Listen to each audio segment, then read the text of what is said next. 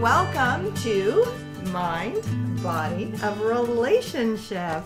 Yes, and today we are having a conversation with Marissa. And Marissa, you have been a student with the Counseling House for you're halfway now, right? Four months. Four yeah. months. Excellent. Halfway done. Went really fast. Very exciting. How about if you tell us a little bit about yourself? Well, I'm a student at Yorkville University. I'm taking my master's in counseling psychology right now. Um, and I have a background in applied behavior analysis, is what I'm coming to you with. Wow, very good. And your general client population is? Um, mainly probably 20 to 40 ish Oh, has okay. been what it is. Um, looking to recruit some more younger, like teens would be my ideal to test out while I'm in practicum. But Oh, very interesting. Okay. So today we're going to be talking about suicide, right? we are. That is the topic. Mm-hmm. And when you think about suicide in regards to client population, what do you think about? It can happen to any age. It's not just a young person, it's not just an elderly, it happens across the board. And I think about the fact that men are more likely to succeed in carrying out their suicide. Yeah, it seems that there is a gender difference, doesn't there? Yes. When we think about men, we think about uh, being serious, right? mm-hmm Yeah, and it tends that if they are going to make an attempt, it's more planned out than just a trial to see. Oh, okay. Yeah. And so for women, it, what is the gender difference there? In terms of trying, is that what you mean? Yeah, yeah. I don't know. I'm all hot now. Um, I would say it's a lot more attempts. A lot more attempts. They um, women tend to try different things, such as pill intake or their wrists or things like that, where they can get preventative measures to take care of it. Men, it seems to be more fatal in sense of gun use Gun use, uh, hanging. And hanging. Yeah. Yeah, yeah. So there is a difference in regards to options or choices of how it is to end life. Uh huh. Yeah. So so say more about suicide ideation. Like there's different variations. there is having a plan is ultimately a really high risk. Like it's not the highest, but if you are just thinking about it and it's something you've kind of brushed across, the risk is relatively low compared to if you have a plan. Mm. If you have a plan on how you'd like to die, it gets a little bit more serious. And then it jumps up to if you have a plan where you have means, you have mm. access to a gun if that's your choice, or you could go to the hardware store and you've planned out that you're going to this hardware store and you're going to buy that rope. And then it gets to the point where you're like, nope, I have nothing. I'm going home today. And this mm. is, and that's where the severity gets a little higher. The ultimate plan. The ultimate plan of a time, place, means, the follow through. Yeah, yeah. So, in regards to the thought of not being here, or that maybe other people would be better off if you weren't here, that's quite common, isn't it? It's very common. You see it a lot, and especially it doesn't have to be that you're depressed. It can be something that's flittered across your mind. Um, and it can be a relatively normal feeling. It doesn't feel like it is, but when you start talking to someone and you start hearing about it, it's actually a very common fleeting thought. It's when it becomes more invasive and more persistent. Yeah. So, it is really good just to uh, know that it is quite common, somewhat normal. And it just depends upon your reaction to it for when it is that you do have that fleeting thought. Yeah, and a lot of times it's when you're seeking help or you're needing those measures. If it's just a fleeting thought where it's someone you have support, like I can come and talk to you because I know you and you're there, it can sometimes stifle that from going further. Mm. But then when you're lacking the support or connection, and then it becomes a dwell and it keeps going further, it tends to progress. Mm-hmm. Yeah. Mm-hmm. So, uh, reaching out to somebody else, uh, having a hope box or something in your pocket that pulls you out of that place, um, paying attention to what it is that actually really keeps you here. What is that? And it's hard because in the moment, if you're at a point where you're actually contemplating, it's not just that fleeting thought. Finding that something that draws you back to why you're here can be difficult. And then when it goes to the point where you're like, well, I'm looking for means, then it's nice to have that tangible thing that you've already thought about while you were in a calm state and while you were able to work through what that means and what it is you're holding on to. Mm-hmm. And that can be really, really complicated when you're dealing with a lot, a lot of difficulties. Especially, I think now when it is, it's multi-layered and really, really complicated, more complicated than ever before. Mm-hmm. And this is a huge, I would think, trigger. Like the research isn't out yet, obviously, but you're isolated. So mm-hmm. then any of those things that have come before that are kind of like, okay, you walk down the hallway and somebody smiles at you, and maybe that is enough that day that sparks joy. You're not having it right now. Mm-hmm. It's a mm-hmm. really scary time for people that have kind of been wavering. Oh, yes, definitely. I went to a training course, the ASIST 11 suicide oh, yes. training course. And what really stood out to me in the two days was the importance of actually asking someone. So, oh. like, if we're having a conversation and you're worried about someone close to you or you're worried about someone that you've met and you think suicide might be a problem or a concern, then skirting around the issue isn't the best idea. Research has shown that if you are directly saying, Are you thinking of killing yourself? or is suicide on your mind? Those actual words is what's getting the person to be able to talk to you. Ah, yes. Mm-hmm. That's really, really important. And there's another side to that, isn't there? Because when it is that someone is actually really reaching out to you, you as an individual, you as a teenager, you as a friend, right? You at a distance, what is actually really the most important thing for you to do? Because I find what people really want to do is they want to take it on. And you want to help immediately. Uh-huh. Most people want to jump in and be like, I can solve this. This is what I can do. Yeah. But a lot of times, that extra pressure of like, oh, now I've put this burden on someone is a lot. Mm-hmm. But I just need you to listen. Yeah. Just listen and be that support person and the person that checks in. Right. And when it is that it actually really is serious, what is the next step in regards to the fact that we all have a duty to report? Mm-hmm. So it's not just that your therapist or your teacher has this duty to report. If you're worried about someone, it, you do have to take those steps. Mm-hmm. And a lot of times, you're going it's hard because you're going to get fought on it sometimes mm-hmm. and everybody does have their free choice and you're allowed to make your own decisions but it's at the point where if you know someone's going to go home and they have a plan and they have the means, it's intervening. And you have to be able to put it aside and realize that you, by calling 911, you could ultimately be saving their lives. Yes, exactly. And it's very scary, actually, you know, to call 911.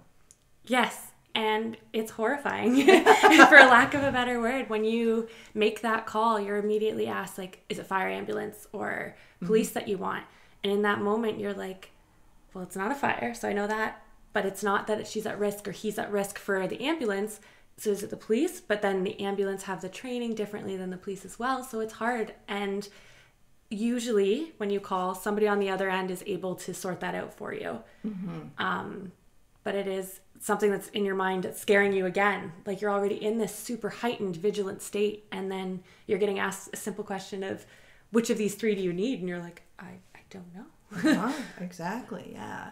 And it is really important just to be able to say, I have a friend or someone has texted me and they've told me this. Mm-hmm. Mm-hmm. And it's really important to get the location. Mm-hmm. So technology is great in that we can text you while I'm in the middle of the forest or I can text you while I'm in the street. But if I don't know where you are when you've texted me that you have a plan, I, the police can only do so much or the person on the other, other end of that phone can only do so much. Exactly. And it is a huge pressure to take on somebody else's distress. Yeah. And that was one of the things that I found really interesting in the research was that although there's a lot of people that are affected by suicide, for each suicide, seven to 10 more people are affected by that person carrying it out. Mm-hmm. And so recognizing that whether you're the person that saved them or you've been affected by suicide, you may need help yourself mm-hmm. and that is okay. Oh, yes, definitely. There are ramifications, right? Because um, you have to actually really think about what it is that's going to happen after. And you don't know in the moment, right? So it's exactly. another what if or what what do I do next? Mm-hmm. And you don't know where that's going. Exactly. So it is kind of really important to have a bigger picture. A bigger picture of life, a bigger picture of it's not just you, right? There's something that's bigger than you. And that's why a belief system is actually really important because the truth of the matter is we don't we don't think about, well, what do we believe about death? mm-hmm And that can be a daunting topic in itself, right? So true.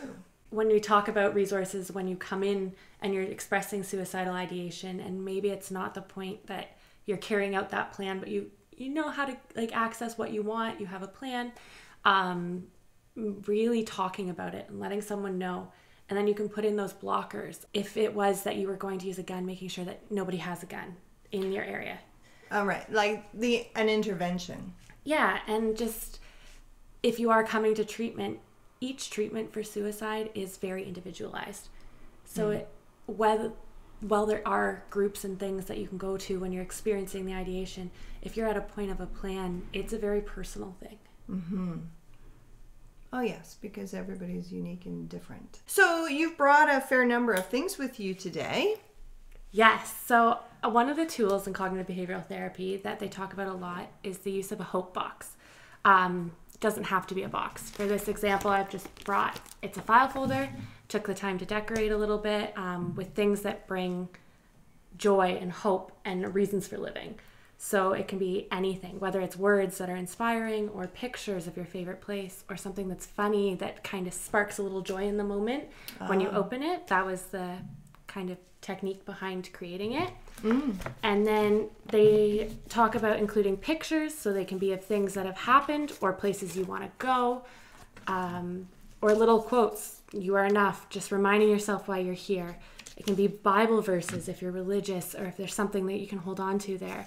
It can be cute little jokes. So, like, what do you call a blind dinosaur? Not sure. No. Do you think he saw us? So, do you, Do you think he saw us? so just little things that kind of trigger you to get out of that mind step and step back. Um, they talk about letters or emails that you can hold on to, something tangible in the moment that you can reread that is reminding you why you're here. Oh, that okay. can get you past that dark moment. Right. And right. then having your actual safety plan right in with your kit is also a recommended tool. Oh, very interesting. Oh, okay. Generally speaking, suicide is is not really reported in the media. No, and a lot of times it's covered with other things, and it, yeah, in an obituary or something like that, it's often your donations can go to mental health, but it doesn't say anything about suicide either. Exactly. The words, generally speaking, suddenly, something like that, right? Because the truth is, there's a copycat phenomenon that happens in regards to suicide. And so it's a, it itself is an intervention so that it keeps it off the minds of others. And there's such a stigma with it. I mm-hmm. like not just the copycat effect, but in the fact that oh well somebody could have done something to help this person. Immediately there's almost like blame passed to other people that were close to them. And it's mm-hmm. not something that should be happening. Like often a lot of times people have stepped in. They have tried. And it mm-hmm. just it's gotten to a point where it was still carried out Mm-hmm. Yeah. So it does. It makes it very, very difficult. And the truth is, is that unless it is that you're specifically asking, a lot of people hide that information and they hide it very, very well. Yeah, and like I said, if you're not directly saying, Are you thinking about suicide? it's very easy to talk in circles around that topic to avoid it. Mm-hmm. Definitely. So, I mean, if you have anybody that you're in relationship with or dealing with that is struggling with suicidal ideation, which is the thought of suicide, it is important to reach out, get help, get support, right? And uh, it is really important to remember that we all have a duty to report, right? And it's a very scary thing to do that, but it also is very, very important. And the truth of the matter is, is that people are very worried how it is the other person is going to react, right? But we we all have to uh, take care of ourselves. We all have to take care of one another, and so I think it's more important to think in the bigger picture uh, in order to be able to look at it in a much more positive and encouraging way. Trying to reduce that stigma. Hmm. Yes. Yeah, I think that what's really important to have something available to you, whatever it is that that might be, no matter how deep it is that you are immersed in that sense of hopelessness, that you can direct yourself towards in order to pull yourself into the here and the now. and being able to break that cycle, right? You're in a mm-hmm. thought where you're thinking about harming yourself, it's hard to escape. So having something like you said tangible or being able to hold on to to realize that you are here. It's not that you're stuck in those thoughts to snap you back. Exactly. Yeah.